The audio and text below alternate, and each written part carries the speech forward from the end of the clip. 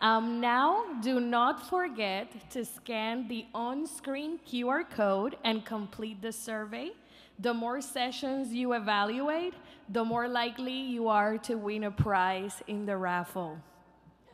Recuerden que tenemos traducción simultánea. A su derecha hay equipos y audífonos, así que tenemos traducción simultánea de inglés a español. Ahora, we would like to extend our heartfelt gratitude to our following sponsors for their invaluable support in making this event a success. Department of Economic Development, Banco Popular, Puerto Rico Agricultural Credit, Triple S, Municipality of San Juan, Puerto Rico Tourism Company, Puerto Rico Convention Center, AARP Puerto Rico, InvestPR, Ferraiuoli LLC, Aeronet, Banco Oriental, Walmart, Freedom, y Titin Foundation. Now, moving on to our next session organized by my colleague and the Puerto Rico Research and Innovation Meetup, let's give a warm welcome to Ricardo Burgos, Director of the Puerto Rico Research and Innovation Meetup a program of the Trust, and Jorge Fontanez, CEO of B Labs US and Canada. They'll be talking about becoming a B Corp and how certifications drives purpose and profit. Welcome.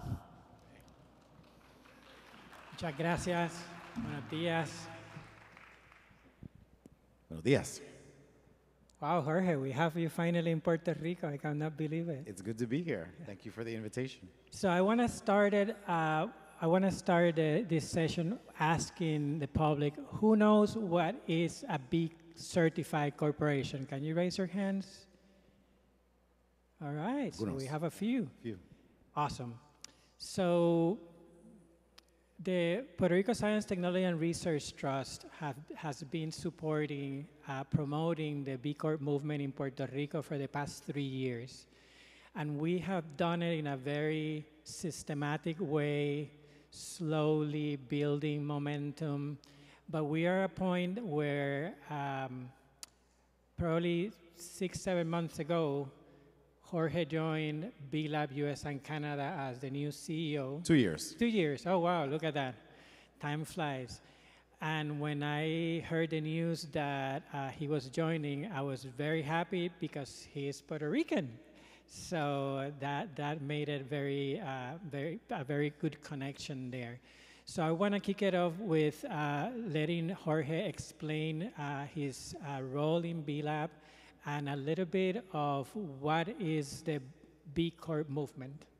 Yeah. Ricardo, first, thank you for the invitation. It has been two years since I joined uh, B Lab, which, just for context, is a global network of nonprofit organizations that establishes and has, has created now 17 years ago uh, one of the foremost set of standards on environmental, social, and governance in which businesses can use to measure their impact. When I joined two years ago, uh, I was motivated not only by the history and the brand that is B Corps. So there's B Lab. B Lab is the nonprofit organization behind, or the engine behind, B Corps, which are the companies certified under our standards. We're now 7,000 and growing around the world. B Lab US and Canada, where I, lead today, US, Canada, and Puerto Rico, um, is one of seven sister organizations around the world, and we have the largest community of B Corps. I was motivated to join this organization at a time when business and business leaders are asking themselves, what is our role in affecting society and addressing the issues of the environment and climate change? What is our role as business leaders in revisiting how business is defined and the role or the, the role of policy and the laws that underlie how business operates, that often create inequity between business and society, whether that's the workers who are looking to be paid a fair wage or community members who are experiencing environmental degradation or other negative impacts as a result of their business operations. The work of B Lab as a global network is unified under one strategy, one vision, and one voice. And the idea is aspirational. The idea is that we are building a movement of companies that are working collectively to change the system. I look to my personal connection to Puerto Rico. I used to come to Puerto Rico as a kid often uh, for the summers. And as an adult, particularly the last two decades, I've come to understand how Puerto Rico in particular serves as a lens through which we can understand what's possible. Puerto Rico has such a deep and complex history, of course. And while I've never lived here, I do see also the possibility and also feel the energy already in this place and in this room of how Boricuas are looking to empower themselves to create a new kind of economy and a new way of working by using business as a force for good, which is what we say. So this is what's inspiring me. This is what brought us here, brought me to this organization. And very briefly to your second question, being a B Corp is really about looking at how your business affects what we call five stakeholders. These are employees, your customers, your shareholders also, your suppliers, and also the environment, the planet. And our standards are really a way for companies to assess the impact of their organization in those five areas. Those that certify achieve a score of 80, and it's important to note that the average score for companies that ap apply to become a B Corp is around 50. So the score of 80 has been determined as a differentiating number that sets B Corps apart from the average business. Awesome. Um, one of the reasons that we at the Trust uh, realized that it was important to bring this movement to Puerto Rico was because in particular in the Parallel 18 program of acceleration and incubation, we, have a we had a few companies that when they were put to talk in front of uh, venture capital funds, the funders asked them, why are you not a nonprofit? And we were like, uh, they are not a nonprofit because they're a legitimate business that wants to do good, that they want to be sustainable, that they want to have a positive impact on the environment. So that, that's how we realized that it was coming from the ecosystem, the, the need to be part of, of a movement that was not recognizing them and then for them to be able to tap into new funding opportunities that are out there, which are called the Impact Investment Fund, uh, and a way to be able to access this kind of capital is also getting certified because more and more these funds are looking at the certification as part of the due diligence. So I wanted to ask you in regards to how the movement is helping companies that want to do good access new ways of capital. Is that something that you guys are seeing? So, yes, I want to acknowledge what you pointed out is a very common experience for entrepreneurs who believe that their business can have a purpose other than making money, right? Other than making profit.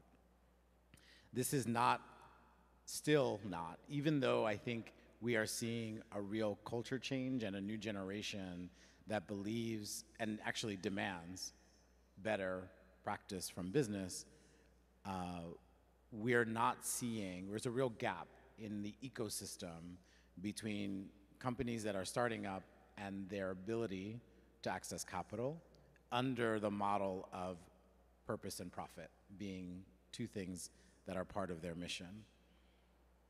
So I appreciate that eh, Empresas de Información de Puerto Rico is starting as an ecosystem to solve for that first. And the work of the PR Science Trust and Colmena 66 and Parallel 18 is a model that I think we actually can learn from and bring to other parts of our B Lab network and B Corp community. Because today, the value proposition for B Corp certification is in some ways working to do what you said, which is to validate the business model of new companies, startups, and also existing companies so that they can say, this is how we're differentiating ourselves in the marketplace. And it is beginning to appeal to investors. But part of the challenge is that investors still look for, uh, you know, high returns, a return on investment. And often we associate this idea that you mentioned that a business that's trying to do good should instead be a not for profit. But we believe that business, the business sector, has so much opportunity to redirect its resources to solve some of the world's biggest challenges. So I want to be clear that B Corp certification is, and the number of B Corps we have is impressive, and awareness of B Corp certification outside of Puerto Rico, because we're just having a 101 session now, but outside of, in, in the US, brand awareness for B Corp certification is at 61% amongst Gen Z and millennials, and over 50% for adults age 18 to all the adults above 18. Any brand would see that as a measure of success already. And so we're using this level of brand awareness to continue the conversation about the role of business and, and work now more with the investor community to understand how purpose and B Corp certification in particular creates value, right? And it isn't about making a trade off between good and profit, but instead that the total sum actually is better for the bottom line. And that's a business case that we still have yet to prove. Your question about access to capital is an important one. And I think part of what we need are investors who are not just patient, but actually share the vision of how business can actually, in the DNA of business models, create new ways of growing that are actually going to deliver the returns, maybe even beyond what investors see today. Awesome. Um, we, we have been seeing in Parallel 18 more and more uh, since we started to talk about B certification in Puerto Rico. The first time I got there, I mentioned that some companies were having this uh, label of why are you not a nonprofit instead of a business for uh, uh, of a business. But back then, none of these companies knew that there was a certification or existed a certification that could uh, help them, you know, uh, navigate uh, this world of impact investment. More and more, we're seeing every with every cohort how more of the younger entrepreneurs, as you were mentioning, when I asked the same question and asked here, who knows what is a B corporation, they, they raise their hand, which is incredible because it's organic. It comes from them seeking for this kind of movement uh, globally. And not only that, in the last cohort of Parallel 18, we had three companies that already started the, the certification process, or at least look at the assessment. So one question I wanted to ask you was, and I, I believe you addressed it, but I, I wanted to go over it again because I think it's important in terms of what we want to achieve in Puerto Rico. Because right now, uh, Jorge mentioned about a cohort that we are running. So, uh, what we are doing is we have been in meetings for the past three years, as I mentioned before.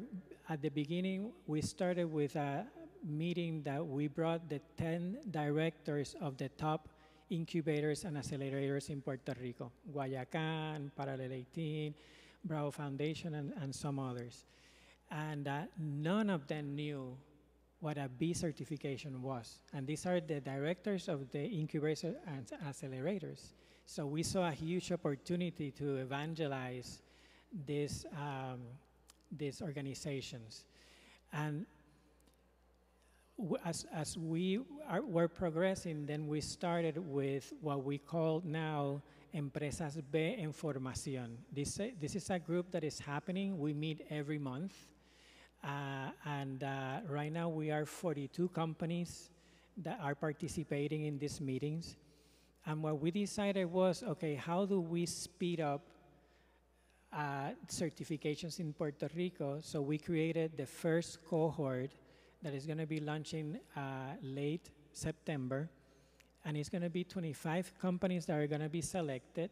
From those 25, those 25 companies are going to go through a program with uh, with a resource that is going to be with them every step of the way on the certification.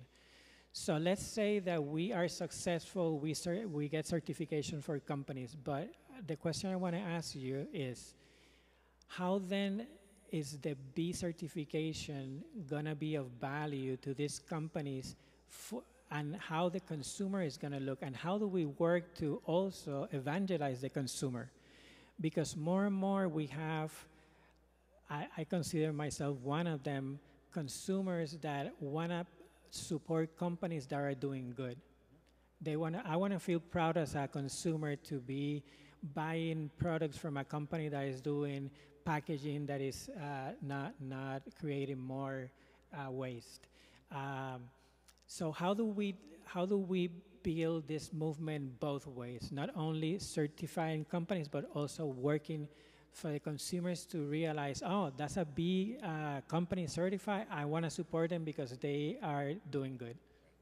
Yeah, I think it's an important question. I think I think we're starting it now, right? This way of recognizing uh, and having conversations, but also you said that there is already a generation here in Puerto Rico that, that has some awareness, maybe not as high as in the US, but has some awareness.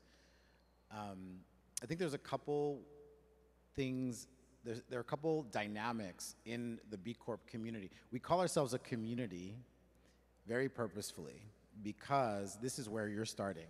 You're creating the conditions in which businesses can learn from each other. So B Lab, our role is to be a connector, a convener, and to educate B Corps.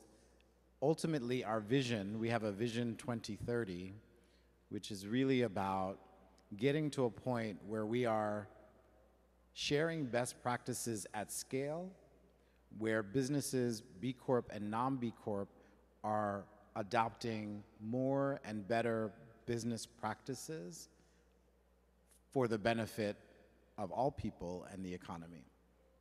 Now that's a it's a fairly short runway to get to 2030, but it's helping us inform how we structure ourselves and how we support B locals like Empresas B en Formación. For many B Corps today, uh, I'm thinking about some of our largest B Corps. Uh, Danone, which is one of the largest multinational companies on the, on the planet, has been certifying its subsidiaries around the world. They now have certified 70% of their subsidiaries. Danone North America, which, which lives in our community, for the last two years since I've been in, as CEO, they've invited me to be part of their employee day. Danone uses the B Corp certification and the association as a way to motivate employees and to strengthen the loyalty and lower turnover, right?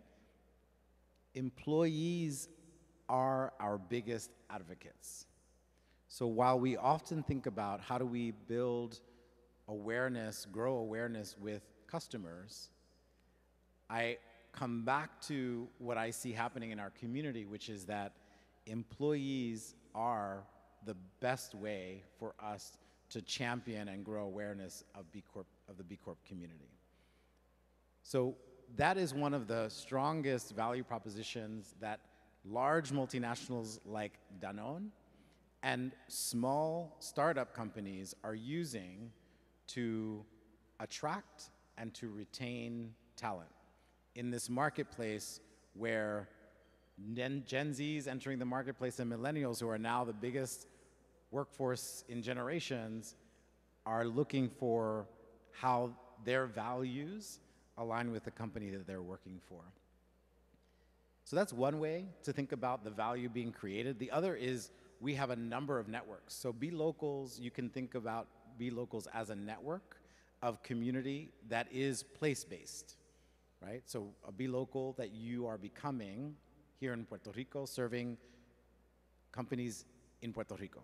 We have 30 chapters of B Locals in the mainland and in Canada that are place-based, from Portland to New York to Texas to Vancouver to Toronto and Ontario. These are organically becoming the ways in which B Corps are connecting and learning from each other. And then we have, I've lost count, but we have dozens of other networks that businesses opt into. So there is a um, collective of companies working to reduce greenhouse gas emissions for net zero. There is uh, a women's network, We the Change, that is focused on gender equity in our work. There's a network of black, indigenous, and people of color who are coming together to uh, also inform how we support the specific needs of underrepresented communities. And then many others that are uh, also industry based. So there's a beauty coalition that actually is a global network of companies in the fashion, skincare, and other sectors in the fashion and beauty industry that are already have actually made their own commitments to green their supply chain and to share best practices around packaging in an open source way, in a pre-competitive way. This is what we see already happening in our network, and it, that's, that's and now I have goosebumps, right? It's, that's the energy of community to think differently about what it means to compete, quote unquote, in, in the marketplace. Awesome. You, you touch on a very important topic, and that's the employment. Uh, uh, more and more we see as a challenge to retain employees in companies. And the new generations are seeking for meaning, for value, uh, and once they see that companies are not uh, walking the talk, right? Uh, and I see, I have a few examples which I cannot mention, but um, big corporations, traditional corporations have has traditionally done the corporate responsibility, which at the end tends to be just a little investment in a community project, but it's nothing systematic as you were mentioning.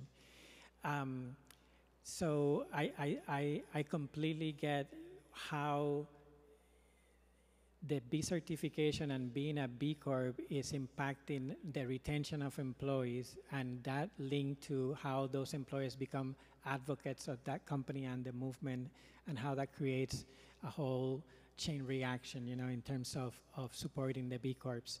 Um, but I wanted to pivot a little bit into what, and you mentioned Danone, right, which is a, a, a mega conglomerate. But I, I, would like to talk a little bit about other other companies. I, I know that Patagonia, for example, probably a lot of people here know Patagonia, the outdoor sport sports sporting goods company, and also Ben and Jerry's. I'm sure a lot of people here eat Ben and Jerry's.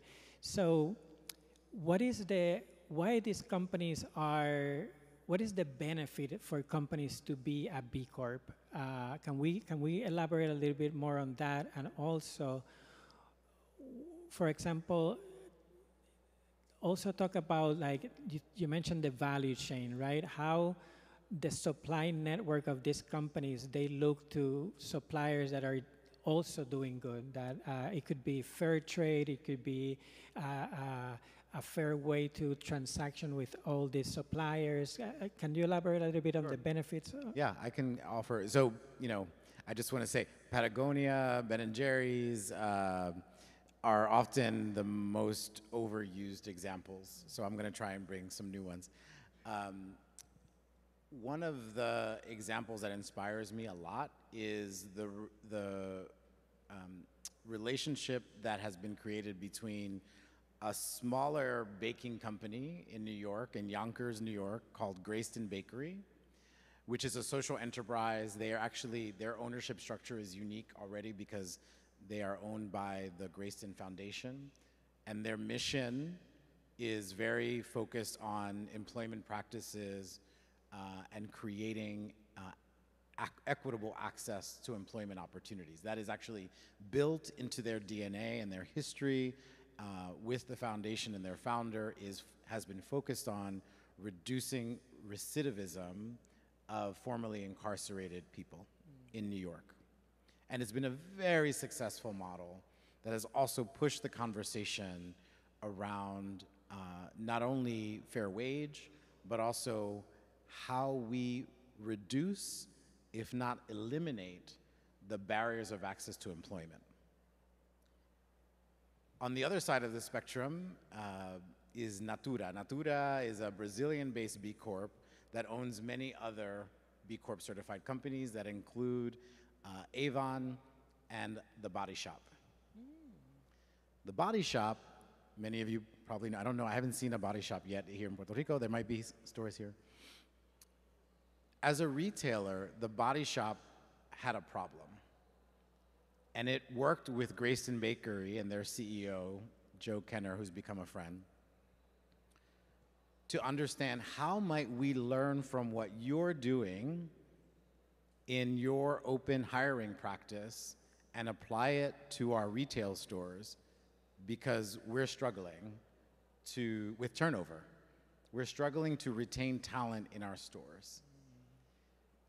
Open hiring, just to explain it simply, at Greyston Bakery is if you need a job, we have a job, and you get the job.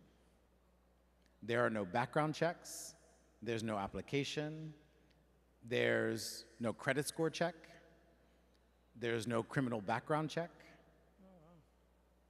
They have a growing wait list of people who need jobs, and when they have a job, they go to the next person on the list and they hire that person.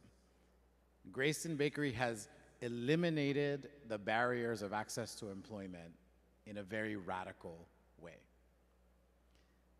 The body shop looked at their model and said, okay, maybe we can't do that exactly, but how might we rethink what's necessary to get comfortable with extending a job to a new hire? And so they did go about the uh, and, and decided we're going to eliminate background checks, we're not going to do credit scores. They got as close to open hiring as possible. And the value that they have seen is almost immeasurable. Because what we don't capture in finances and in the bottom line is the cost of retention and hiring new people when your turnover rate is 40 percent. So that's an example that really, I think, crystallizes not only the value being created through B Corp certification, but also makes the connection of the value of B Corps connecting with other B Corps, large and small. You, you, you jumped the, the rope here because that's exactly where I, I was going to ask next, next, next. And it is how can you can you expand a little bit on these relationships of between B Corps? How do they relate? Do they do they seek to, to each other beyond this example that you've given us, is there a pattern in which B Corps communities support each other and do business with each other? Yes, we have actually a, a platform. It's not public, but we call it the, the beehive, like, you know, the bees. the, men. the beehive. Um, and the beehive is, is, a, is a platform, just like a social media platform, like LinkedIn or any other platform like that, um, where people within the company ask questions. I'm looking for XYZ, or they're posting jobs, or, um, you know, in the US context, we're, we're dealing with a lot of difficult questions. One example of that is how do we actually decarbonize the planet? how do we actually look at opportunities in our business to reduce or eliminate waste, reduce our dependency on water, to look at mm, the cycles of um, uh, the, the, the regenerative cycles in which we want to ensure that whatever we produce doesn't go to landfill, right? That those kinds of conversations are happening in the B Hive platform. They're also happening in community. A lot of it is self-organized. And this is also the beautiful thing about the B Corp community because our team at B Lab US and Canada, we're 40 people. We're only 40 people. so our challenge, and I said to you already, we are the largest community on the planet. So our challenge is to figure out how do we scale engagement and connection without growing our team as quickly as the community is growing. And that's already happening at a local level. We have at least one platform, B Hive. Um, and then annually, we host our own retreat. We have a retreat coming up in Vancouver. I mentioned this to you earlier, uh, called Champions Retreat.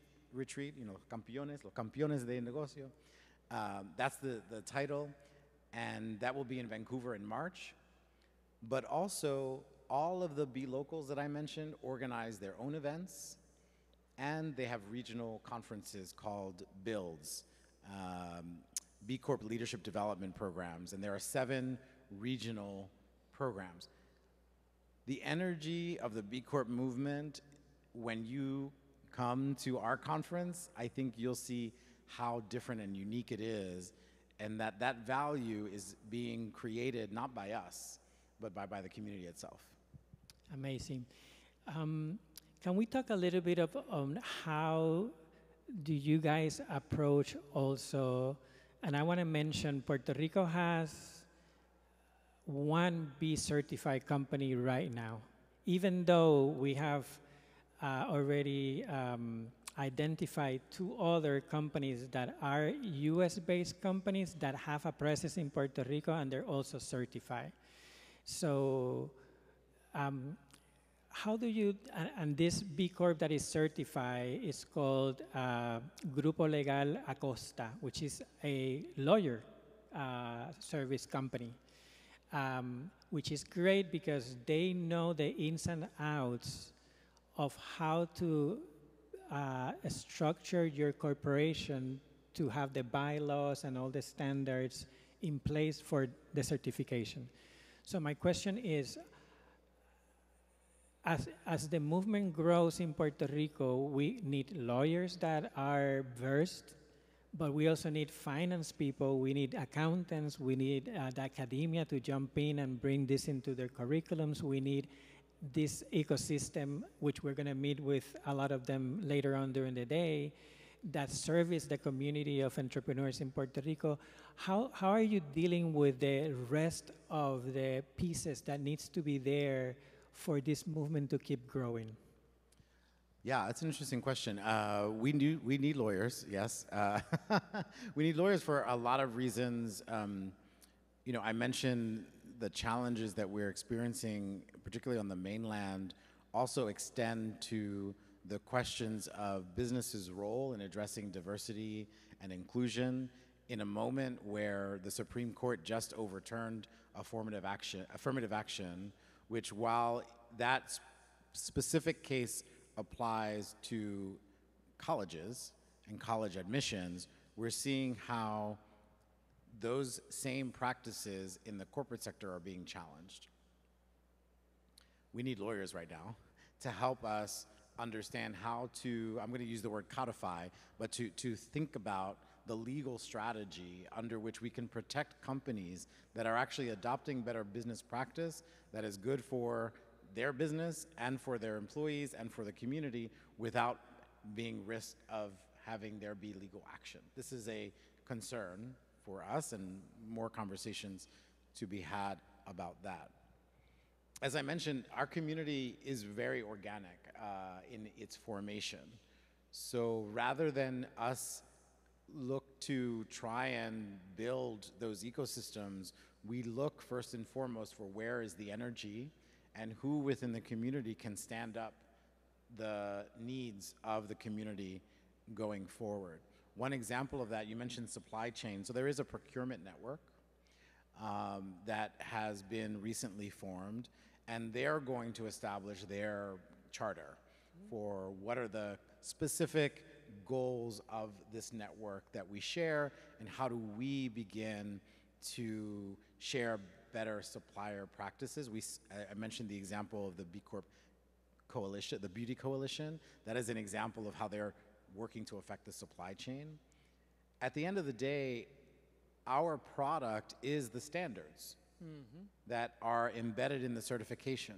So whenever there's a question about how do we guide companies in this work, we, we do come back to the standards because B Corps ask us, and we're working on the next evolution of our standards, which will be published next year in 2024.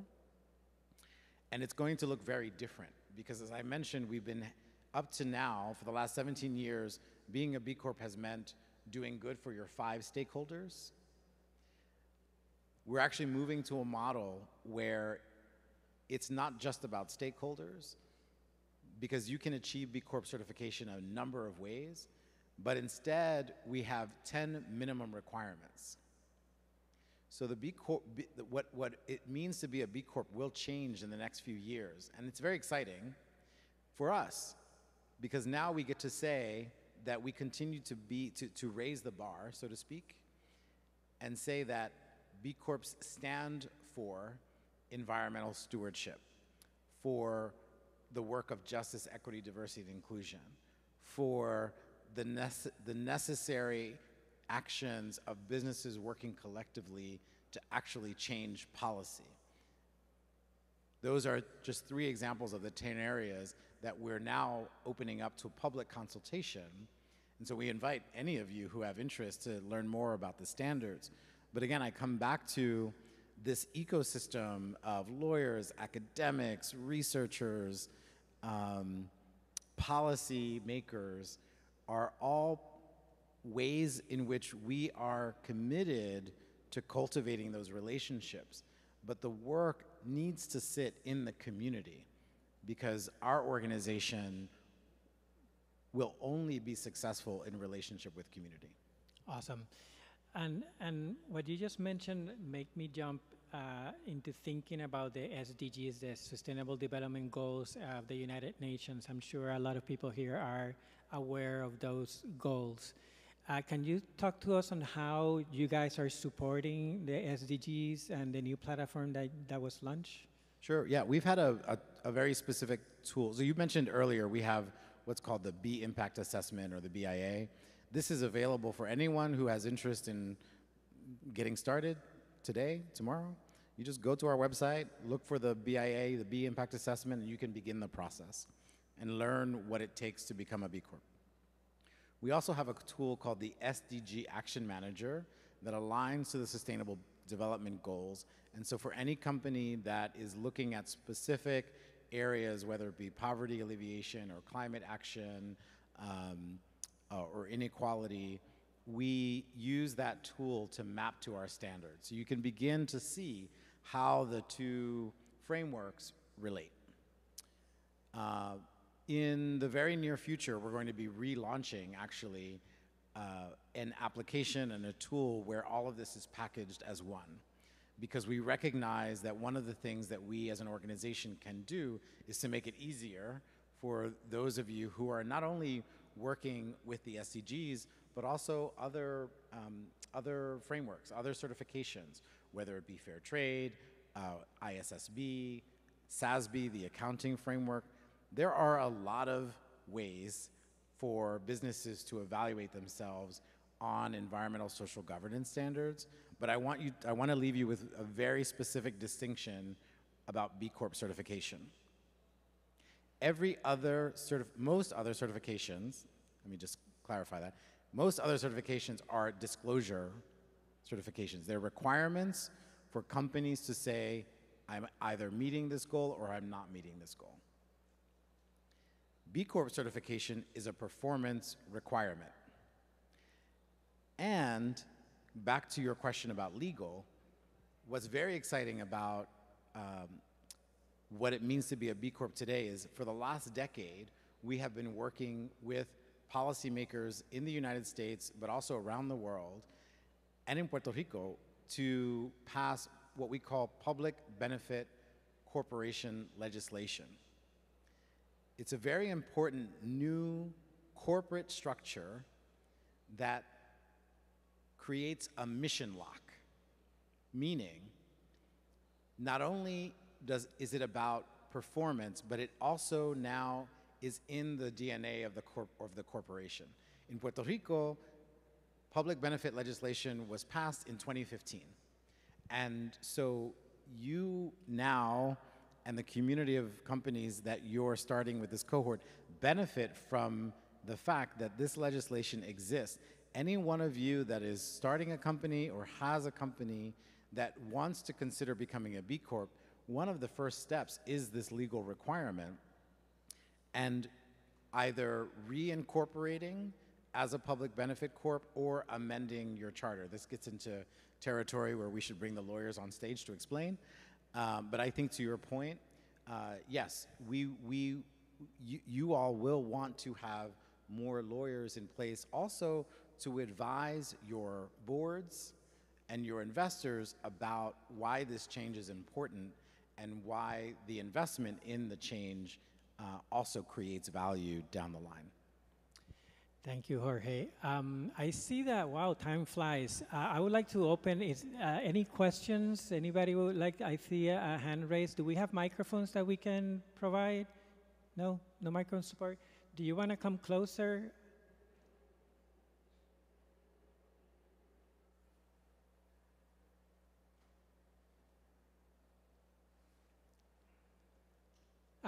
Thank you. There's a microphone coming. So while we get the microphone for the question, and anybody else who would like to have a question, could you please come closer to the microphone so we can speed it up because we have uh, a few minutes. But I want to stress something very quickly. Anybody that is interested in measuring how your company is impacting society, the environment, uh, and, and what we have talked here can go into the B Lab uh, bcorp.net. Uh, wearebcorps.com. Wearebcorps.com, and there's a B impact assessment. This is free. You can do it tomorrow, and then that will give you a score, and you will know where do you stand. You know, you don't need to go all the way to getting certified, which is a very rigorous process and uh, and uh, and takes time. But if you wanna, you know, you have this in your DNA. You wanna do good. You want your enterprise to be part of solutions, you know, uh, you, I, I, exhort you to go into the platform and, and, and do the B impact assessment. Please, your question? Yes, thank you for bringing up all those examples and giving hope to all the people here in Puerto Rico who are trying to make a difference. My name is Kathleen Ramos. Maybe you've seen me. I have a business called Cultura Bicicleta. It's a cooperative, and I am asking how and if it's possible, because a, a co-op is a different, uh, it has a different spirit and it, it has different laws. We, however, are only recognized at state level for tax exemptions, which then becomes a block to getting access to some capital opportunities that are state for or, or, or recognized by state with a 501. So I'm wondering if there is a possibility of then getting that recognition at, by becoming a B Corp, another. So how could could I be recognized, or would I? It, will the co-op need to perish in order to become something else? This is where we need to bring the lawyers in the room. So I think I can answer your question simply by saying, so let me just confirm, you're a for-profit entity, yes? In Puerto Rico, In Puerto uh, Rico. uh, co-ops that are f- um, Uh, you're, you're, a de co- diversidad. you're a co-op. Exacto. A co-op. Uh, co-op, Yeah. uh, Se llama, uh, it's called eh, eh, corpo- eh, cor- cooperativas de, de tipos diversos. Bien. I know an example actually in, in Australia. Actually, we're having this conversation because the difference between with a cooperative is that it specifies that its mission is for the benefit of the employees, right? Who are the owners of the company. Now, I think, again, we need legal advice to understand whether you would, I don't know that you would need to convert to a public benefit corporation, but there might be a possibility in the discovery process where you would amend your charter to consider the fact that the mission of the organization, yes, is primarily for the benefit of your employees, who are the owners of the cooperative, but also for the planet, for customers, for the community. And so this is a technical question that I, I can't fully answer, but we are building pathways for this to be viable for cooperatives. Thank And, you. and we can talk more later. Um, anybody that is interested in this topic, please write down my email, rburgos at prsciencetrust.org. rburgos at prsciencetrust.org. If you're interested in knowing more and participating of our events, even joining the cohort and be evaluated to be part of the cohort, more than happy to, to have you. I think we ran out of time. I know there was another question. We're going to be right there. If you want to come and, and, and meet us, more than happy to. Thank you, everybody, for your attention. Thank you so Muchísimas much, Jorge. Yeah. Gracias. Los exhorto ahora a las 5 y 10 de la tarde. Jorge va a dar una charla en el main stage, muy inspiracional, eh, inspi- de mucha inspiración, así que les exhorto a que participen de esa charla también. Esperamos que sí. Gracias.